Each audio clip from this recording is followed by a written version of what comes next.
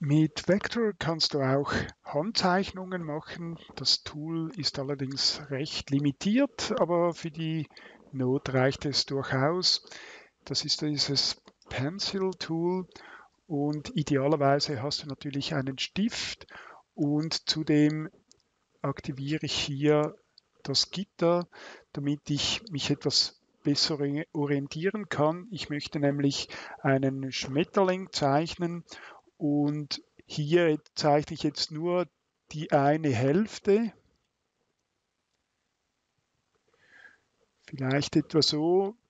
Und weil der ja spiegelbildlich ist, kann ich so eben gewährleisten, dass nachher dann quasi die andere Hälfte exakt identisch ist.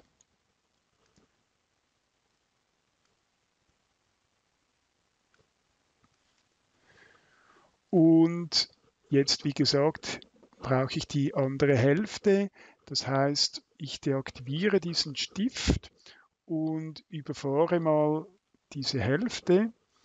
Die kopiere ich mit einem Rechtsklick oder Ctrl C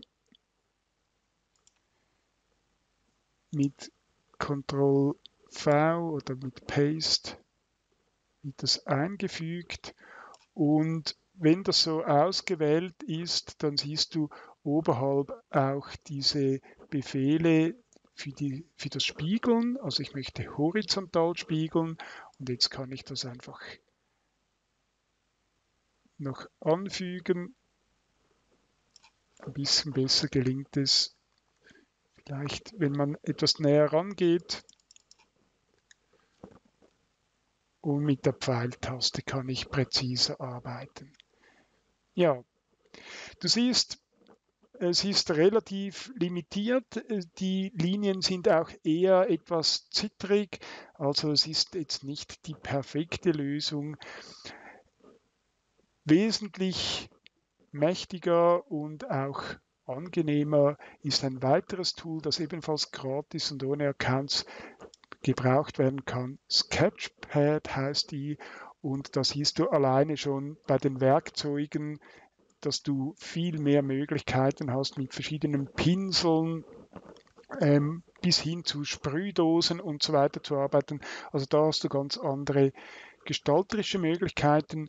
Allerdings muss man sich bewusst sein, dass nicht jede, jedes Werkzeug wirklich auch vektorbasiert ist. Ähm, das heißt, nicht jedes Werkzeug eignet sich dafür ähm, als Vorbereitung für die Bearbeitung oder für ein Produkt, das dann letztendlich mit dem Lasercutter ausgeschnitten oder graviert wird. Also das muss man sich einfach bewusst sein.